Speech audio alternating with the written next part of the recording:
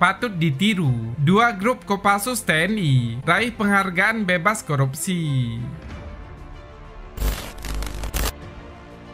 Dengan pedoman Sumpah Prajurit dan Sabta Marga Tentara Nasional Indonesia. Dua grup pasukan elit TNI Angkatan Darat, Komando Pasukan Khusus Kopassus berhasil meraih penghargaan Zona Integritas Wilayah Bebas Korupsi atau yang disingkat WBK, Wilayah Birokrasi Bersih Melayani atau yang disingkat WBBM.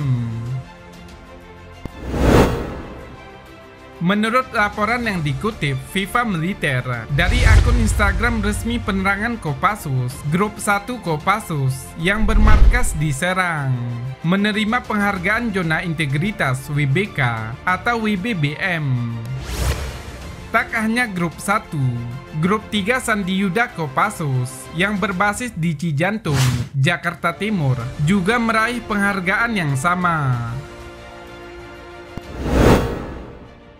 Grup 1 Kopassus dan Grup 3 Kopassus mendapat penghargaan apresiasi dan penganugerahan zona integritas menuju WBK atau WBBM 2020 dan penganugerahan zona integritas menuju WBK atau WBBM 2020 dari Kementerian PANRB bunyi pernyataan Pen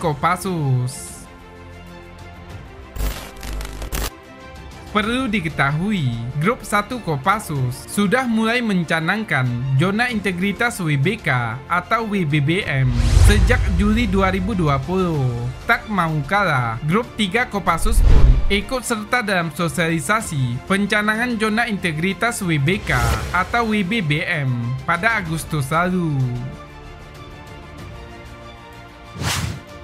Tepatnya pada 9 Juli 2020, Komandan Grup 1 Kopassus, Kolonel Infanteri I Ketut Marta Gunarda, memimpin deklarasi pencanangan zona integritas menunjuk WBK atau WBBM.